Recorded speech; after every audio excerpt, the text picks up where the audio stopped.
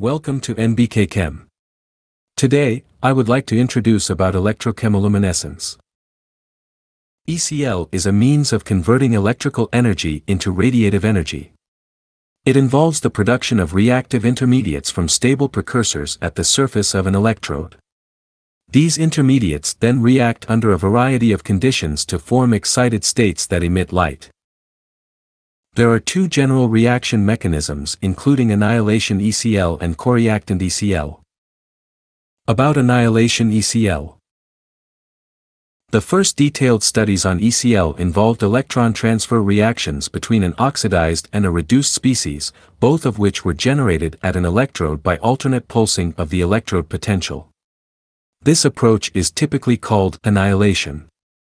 For example, ECL from Ru, BPY, 3,2 plus was first reported in 1972 in acetonitrile, MECN, using tetrabutylammonium tetrafluoroborate, BAF4, as the electrolyte.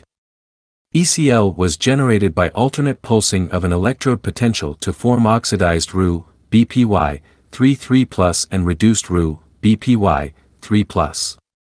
Ru, BPY, 3,2 plus represents the excited molecule that emits light, and H nu is a photon of light.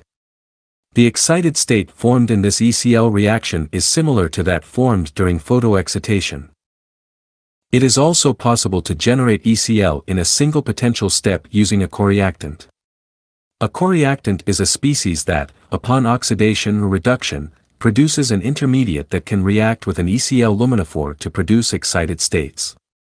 Usually, this occurs upon bond cleavage of the coreactant to form strong oxidants or reductants. For example, ECL is produced upon concomitant oxidation of Ru, BPY, 3,2 and TPRA.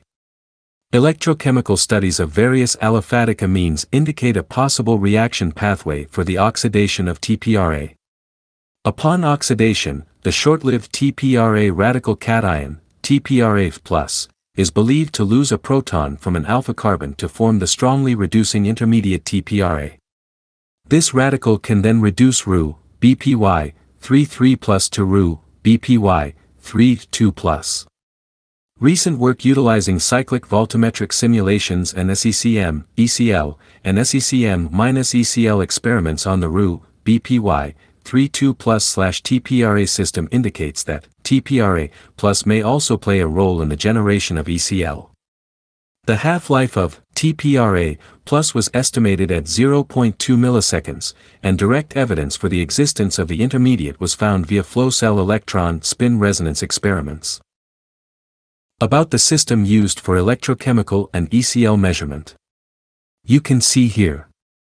ECL cell consisted of a glass cup, a silicon rubber plug with a gas inlet and a gas outlet, and a three-electrode system, a point wire, working electrode, WE, a point wire counter electrode, CE, and an AG-AGCL reference electrode, RE.